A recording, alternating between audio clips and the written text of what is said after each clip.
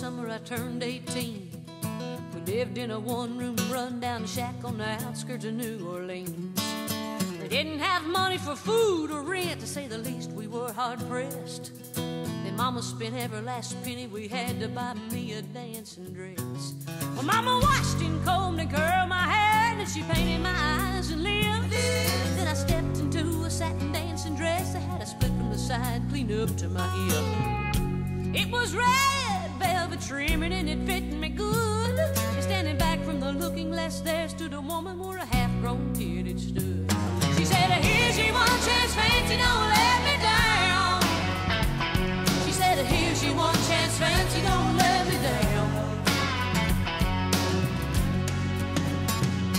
Mama died a little bit of perfume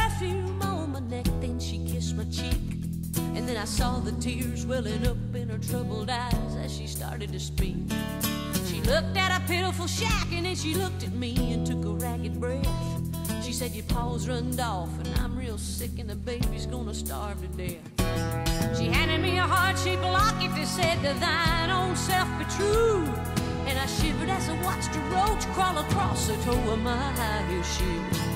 It sounded like somebody else that was talking, asking, Mama, what do I do? Said, just be nice to the gentleman, Fancy. They'll be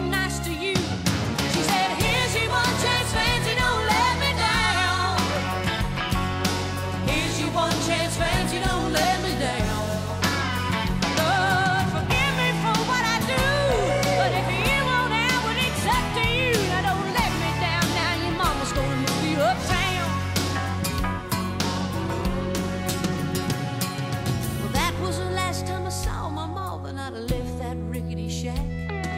The welfare people came and took the baby, mama died, and I ain't been back.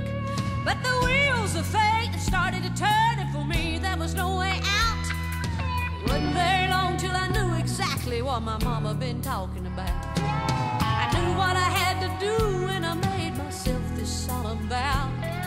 I was gonna be a lady someday, though I didn't know when